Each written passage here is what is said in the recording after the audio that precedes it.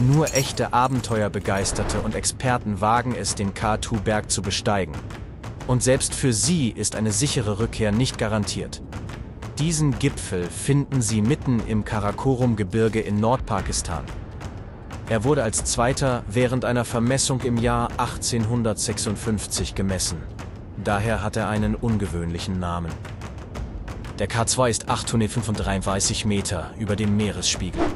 Damit ist er der zweithöchste Berg der Erde, gleich nach dem Mount Everest. Er gehört auch zu den gefährlichsten Orten.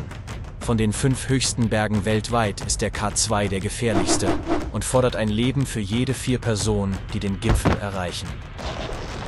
Lawinen, heftige Stürme und schwierige Pisten machen den K2 zum härtesten Berg zum Besteigen auf dem Planeten. Die Luft ist dünn. Nur ein Drittel des Sauerstoffs, den man auf Meereshöhe finden kann, ist dort oben auf dem K2-Gipfel. Stürme können tagelang andauern und verursachen viele Probleme. Der K2 ist vielleicht ein bisschen niedriger als der Mount Everest, aber aufgrund seines Terrains ist er viel schwieriger zu erklimmen. Der Everest hat einige flache Strecken, aber der K2 ist fast den ganzen Weg hinaufsteil. Bei 715 Metern flacht er ein wenig ab. Aber Steinschläge und unvorhersehbares Wetter machen diese Gegend zu einer echten Risikozone. Der Everest mag zwar höher sein, aber K2 gilt als tödlicher. Der Everest hat ein paar beliebte Routen, wie die South Cole und den North Ridge. K2 hingegen kennt keine einfachen Routen. Selbst die vermeintlich einfache ist verdammt steil, im Durchschnitt 45 Grad von der Basis bis zum Gipfel. Während es am Everest Stellen gibt, an denen sich Kletterer ausruhen können, spielt K2 dieses Spiel nicht mit.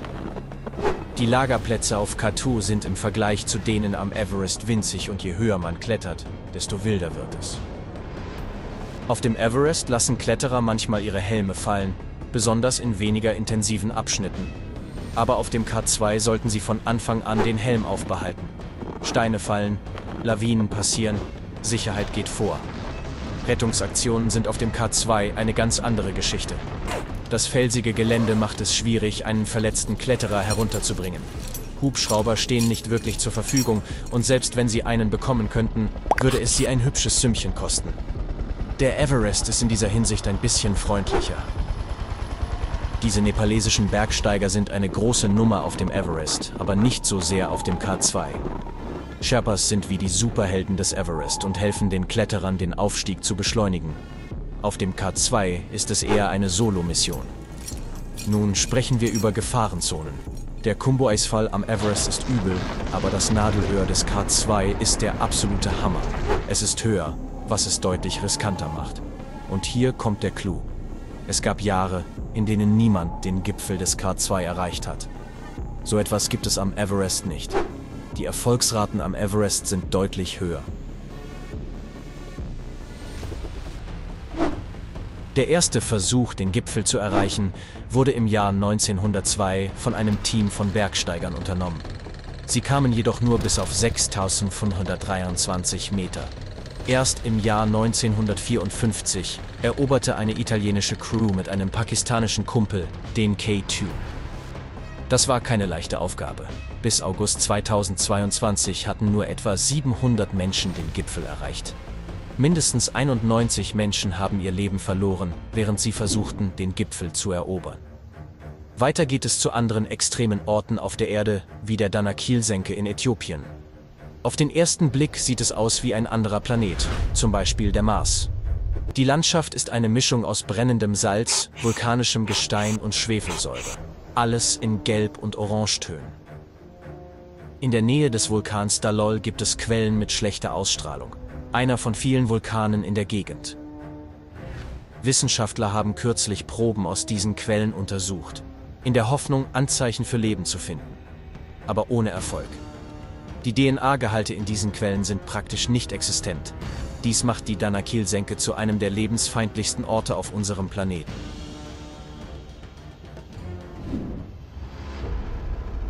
Die nächste Extremzone ist das Death Valley in Kalifornien. Es zählt zu den heißesten Orten unseres Planeten. Man kann dort Eier auf dem Boden kochen. Die höchste jemals von einer Wetterstation in dieser Gegend aufgezeichnete Temperatur betrug 56 Grad Celsius im Jahr 1913. Bedenken Sie, dass es auf unserem Planeten sogar noch einen heißeren Ort gibt. Es handelt sich um die Wüste Dasht Elut, Dasht Elut im Iran. Ein NASA-Satellit maß dort im Jahr 2005 eine Temperatur von 70 Grad Celsius. Es ist dort so brennend heiß, dass Vögel, die durch dieses Gebiet fliegen, manchmal vom Himmel fallen, weil sie die extreme Hitze nicht ertragen können. Lassen Sie uns von Hitze zu Feuchtigkeit wechseln, denn wir gehen in ein Dorf namens Mausinram, Mausinram, in Indien. Dieser Ort ist der Regen-Champion der Welt. Es regnet hier so viel in einem Jahr, dass wenn man die Christusstatue in Rio de Janeiro, diese riesige Statue mit einer Höhe von 30 Metern dorthin stellen würde, sie bis zu den Knien im Wasser stehen würde. Dieses Dorf befindet sich in den Kasi-Bergen. Es fallen 1080 Zentimeter Regen pro Jahr. Das ist, als würde man im Laufe des Jahres 39 Standard-Cerealien-Schachteln übereinander stapeln. Die nächste Stadt ist La Oroya. Für die 25.000 Menschen, die diesen Ort ihr Zuhause nennen, ist das Leben in dieser Stadt in Zentralperu wirklich hart. Die Luft ist gefüllt mit gefährlichen Stoffen wie Arsen, Blei und Schwefeldioxid. Sogar der Regen ist sauer und zerstört die örtlichen Pflanzen. In La Oroya gibt es eine Metallfabrik. Sie produziert Dinge wie Gold, Silber und Cadmium. Diese Fabrik ist der Hauptarbeitsgeber der Stadt. Doch im Jahr 2007 erklärten Experten, dass dieser Ort einer der am stärksten verschmutzten Orte auf der Erde ist. Die Menschen arbeiten hart daran, das Durcheinander zu beseitigen und das Leben dort zu verbessern. Tristan da Cunha im Südatlantik ist der abgelegenste Ort der Erde. Es handelt sich um eine winzige Inselgruppe, auf der gerade einmal 246 Menschen leben. Es gibt keine Landemöglichkeit für Flugzeuge. Wenn Sie besuchen oder verlassen möchten, steht Ihnen eine Bootsfahrt bevor. Von Südafrika aus ist es eine sechstägige Reise, etwa 2414 bis 2736 Kilometer entfernt. Wahrscheinlich ist der gefährlichste Ort, um ihr Leben zu verbringen, die Pazifikinseln von Vanuatu, Vanuatu, Sie würden am Rande leben und täglich Vulkanen, Erdbeben und Tsunamis ausweichen. Der Weltrisikoindex der UNO klassifiziert diesen Ort als den gefährlichsten Wohnort. Satellitendaten zeigen, dass der Meeresspiegel um Vanuatu seit 1993 jedes Jahr um etwa 6 mm steigt. Hinzu kommt, dass die Insel im April 2020 vom tropischen Zyklon Harold heimgesucht wurde, dem schlimmsten in fünf Jahren, mit harten Winden, die Geschwindigkeiten von bis zu 250 Kilometern pro Stunde erreichten. Die nächste ist der Ort, an dem Unmengen von Menschen auf einem winzigen Raum zusammengedrängt sind. Es wird geschätzt, dass in Manila auf den Philippinen rund 184.500 70 Menschen auf jedem Quadratmeilen leben. Manila ist so überfüllt, aufgrund des wirtschaftlichen Wachstums der Stadt in den letzten 50 Jahren, hauptsächlich dank ihres pulsierenden Hafens, Mehr Geld und Arbeitsplätze bedeuten mehr Zuzüge. Mit den Menschen kommt Verschmutzung und Verkehrsstaus, die das Leben dort zu einem täglichen Kampf machen. Ach ja, und eine Wohnung in Manila zu finden, ist wie die Suche nach einer Nadel im Heuhaufen. Eine massive Wohnungsnot fügt dem Ganzen noch mehr Chaos hinzu. Jakutsk in Russland beansprucht den Titel als Stadt mit den niedrigsten Wintertemperaturen. Im Jahr 1891 betrug die Temperatur dort 64 Grad Celsius. Es ist jedoch nicht der kälteste Ort der Erde. Diesen Rekord hält das östliche antarktische Plateau in der Antarktis mit 94 Grad Celsius.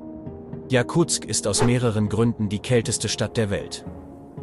Erstens, sie liegt weit entfernt vom Meer, ohne warme Ozeaneinflüsse. Zweitens bringt ein Hochdrucksystem während des Winters eisige Luft aus der Arktis. Sonnenlicht ist im Winter in Jakutsk selten zu sehen. Die Stadt liegt auf Dauerfrostboden, was bedeutet, dass der Boden auch immer gefroren ist. Etwa 355.000 Menschen nennen Jakutsk ihre Heimat. Überraschend ist, dass dieser Ort im Sommer richtig aufheizt. Im Juli erreicht die durchschnittliche Höchsttemperatur 26 Grad Celsius. Das ist heißer als in London zur selben Jahreszeit. Na, ist das nicht ein verrücktes Wetter, hm?